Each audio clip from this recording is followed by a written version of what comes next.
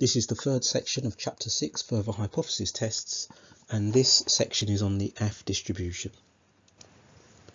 Now the F distribution is used to test if the variances of two uh, normal distributions are equal. The F distribution gives us critical values to carry out the hypothesis test.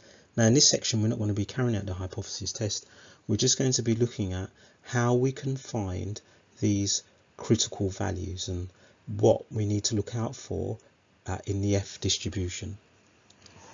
Now the reason we can use this F distribution is the ratio of the sample variances of two normal distributions uh, follow this F distribution. So I've got two populations. I find a sample of one, I work out its variance uh, as population X. I find a sample of population Y. I work out its variance. If I divide one by the other, I'll get a value and it follows this F distribution. Now you'll notice that I've got these two things here. This is nu 1 and nu 2.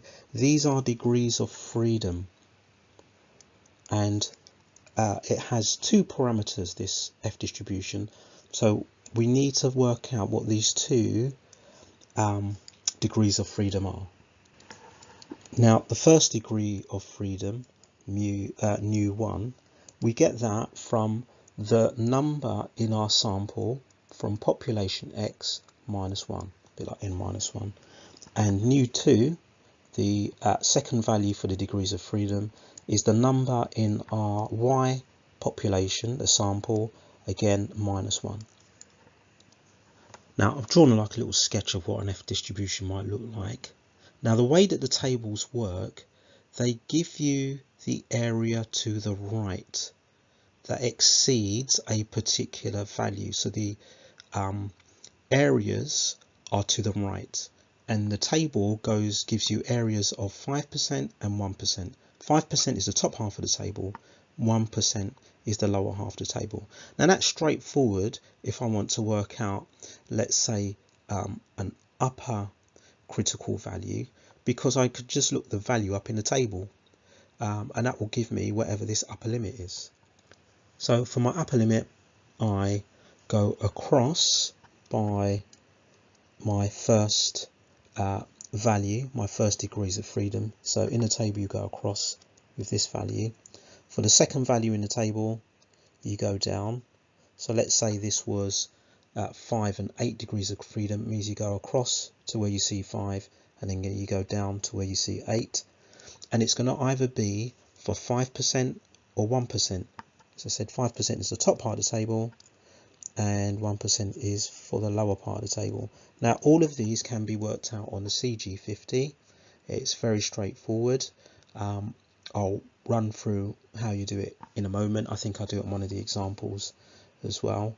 But yeah, upper limit, you just look it straight up in the table because the area that's given at the side is basically the area on the right. Now we need to do a little bit more work if I want to find a lower critical value um, because a lower critical value, for example, so let's say we had a critical value down there, so let's get rid of these here, and um, so now this becomes a critical value. The table, um, or is is basically this area, but the table doesn't have 95%, for example if this area here is 5% that I want for the lower critical value or 1% down here which would mean this is 99%. So lower critical values you can't just read off from the table. So let's say I want to find a lower critical value for an F distribution that has these two degrees of freedom. The way that we work that out is I do 1 over the F distribution but with the two degrees of freedom reversed. So if this was an F distribution with 5 and 8, this would be 8 and 5. So you swap those over and then we can use the table and then here this would be either 5% or 1% depending on the question. So we have to do this for the uh, lower limit. So upper limit, straightforward, you just read it off from the table, that's fine. For the lower limit, because um, the table only gives areas to the right, and it only gives areas to the right of 5% and 1%, so that wouldn't be the case here. This would actually be 95% to the right, but the table doesn't have 95%, only has 5 and 1.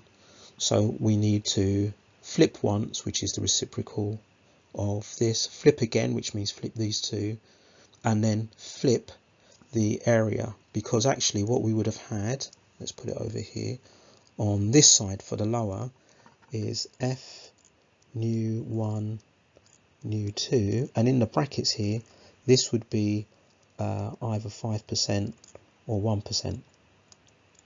So for the lower critical value, we need to basically reciprocal, flip the numbers, and basically um, we, we sort of have to flip the area as well because this may actually be written here.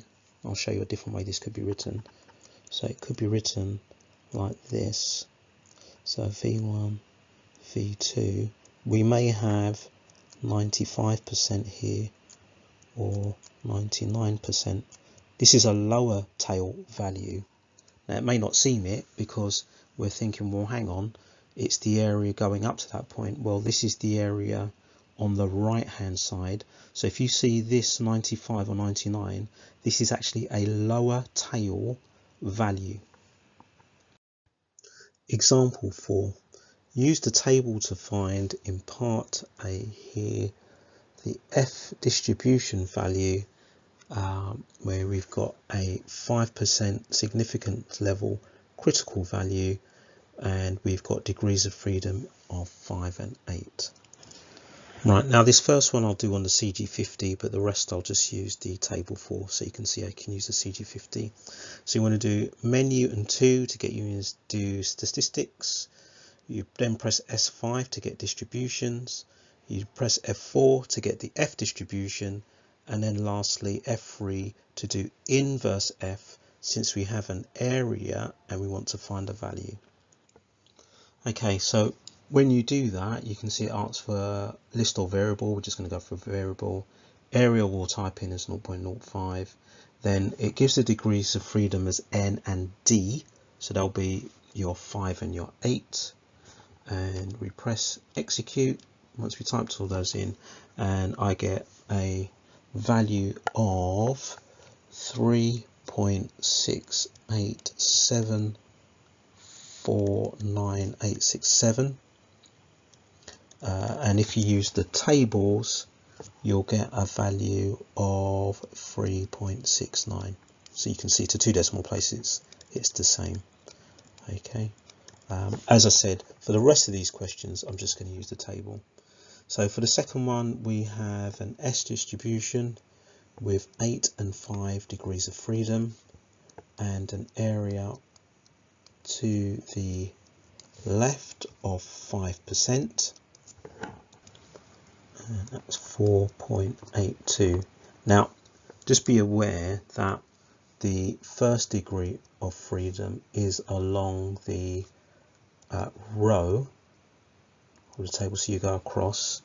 The second degree of freedom you go down the column so make sure you don't or you read it uh, the right way around. Example 5 find upper critical values for and part A we have F distribution with 8 and 10 degrees of freedom. And we want to find this upper critical value.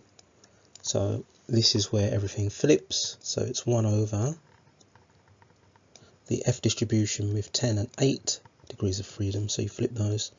And then we flip the um, percentage as well. So it becomes 5% so that'll be 1 over and I'm using the tables so 10 across 8 down I get 3.35 so um, 1 divided by 3.35 now since the tables only go to two decimal places I'm only going to give my answers to two decimal places. Uh, so 1 divided by uh, 1, uh, 3.35. Obviously, if you're using the calculator, then um, you're going to get uh, more accurate answers rather than just rounded to decimal, places. But we're using uh, something that's rounded to two decimal places here. So this is what my calculator gives me. So rounded to two decimal places is going to be 0.30. So that's 2 dp. Right, moving on to part B. Um, we want again to find an upper critical value for an F distribution with 10 and 8 degrees of freedom. So it's the opposite way around to the previous one, 0.95. And that's going to be 1 over um, 8 and 10 degrees of freedom at 0.05. So remember to flip everything around. From the table, that's 3.07 so we're going to do the reciprocal of that. So 1 divided by 3.07 on my calculator gives me 0.3257 and so on. Tables given to two decimal places, so I'll give my answer to two decimal places, so 0.33 to two decimal places. Example 6. Find the lower and upper 5% critical values for an F distribution with A and B as our degrees of freedom in each of the following cases. So part A, we're going to find our F distribution with 6 and 10 degrees of freedom at the 5% mark. So this is a, a, value that we can just look up in the table. So that's 6 across and 10 down 3.22 and then for my other critical value that's F610 at the 95% mark. And to work that out that's going to be 1 over F distribution with 10 and 6 degrees of freedom at the 5% mark. So that's going to be 1 over. So 10 across and 6 down is 4.06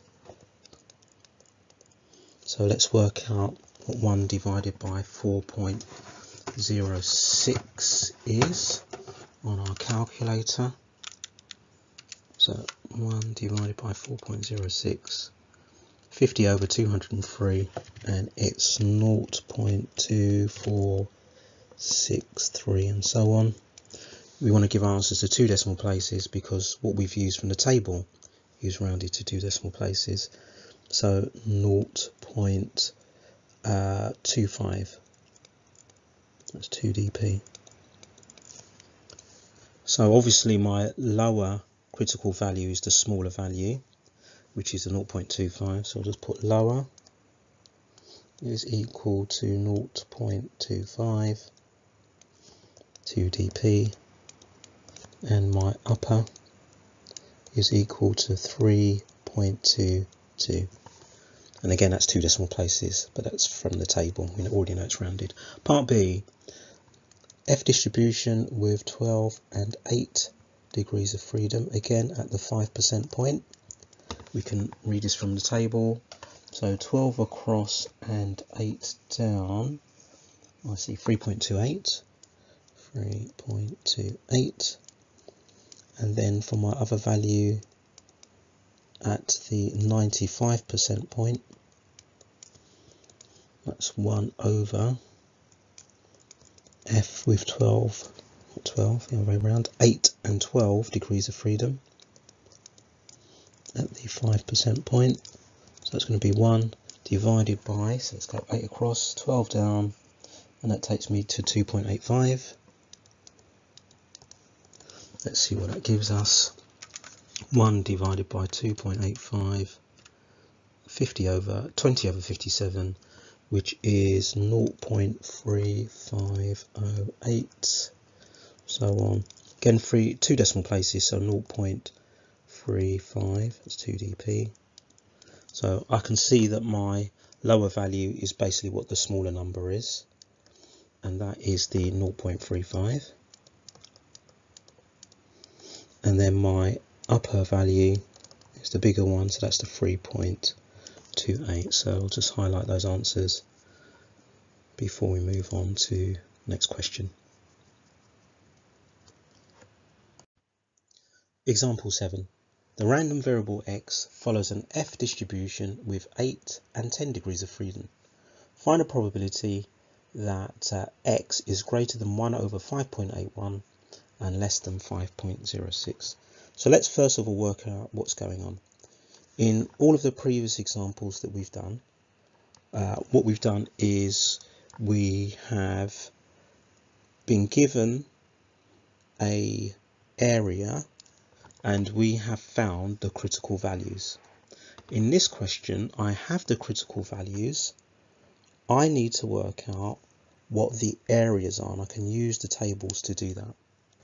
So here's my F distribution and I have a value of 5.06 here and at the other end I have a value of 1 over 5.81.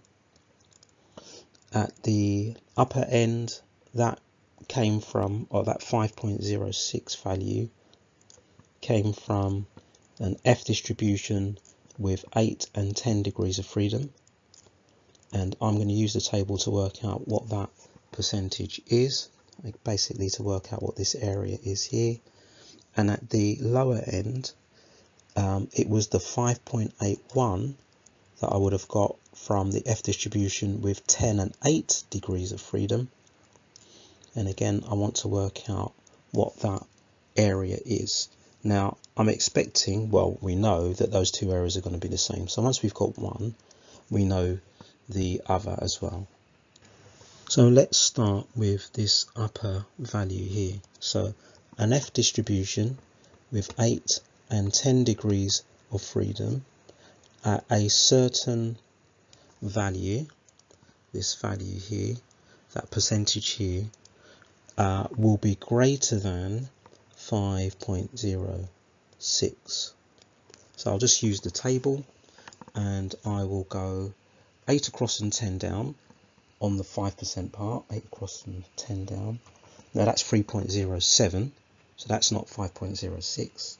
So I'll go in the lower part of the table, 8 across and 10 down, and there I see 5.06. So it's in the 1% part of the table, which means that this here is 1%. Okay, so we got that from the table. So that means that this area at the top here is 1%. Now we know the area at the bottom is also 1%. Now if you think about it, the only missing values they could be is either 1% or 5% because that's all we've got for our table. Um, but I'm going to do it anyway. So um, 5 and now for the bottom part 10 8 degrees of freedom again we want to find out the percentage where it gives a value greater than 5.81 the first value to be greater than that so again I'm not expecting it to be in the top part of the table but I'll check anyway 10 across, 8 down, and I see 3.35, which is not 5.81. It should be in the bottom, which is what I expect. 10 across, 8 down, 5.81. That's in the 1% part of the table, which is what we expected. The tails are both going to be identical in size, symmetrical tails. So that's also 1%. So that means that the area in the middle here is 98%. So the probability that x is greater than 1 over 5.81 and less than 5.06 is going to be equal to 98%. So there we go. And a little diagram sometimes helps with these um, types of questions. Example 8. The random variable x follows an f distribution with 6 and 12 degrees of freedom. We want to find a probability that x is less than 0.25. So the first thing I'm going to do is to draw an f distribution. So something like this. and then I'm just going to put that information on the table. So I've got a value here which is 0.25 and my job actually is to work out this area here. That will answer my question if I can find that area.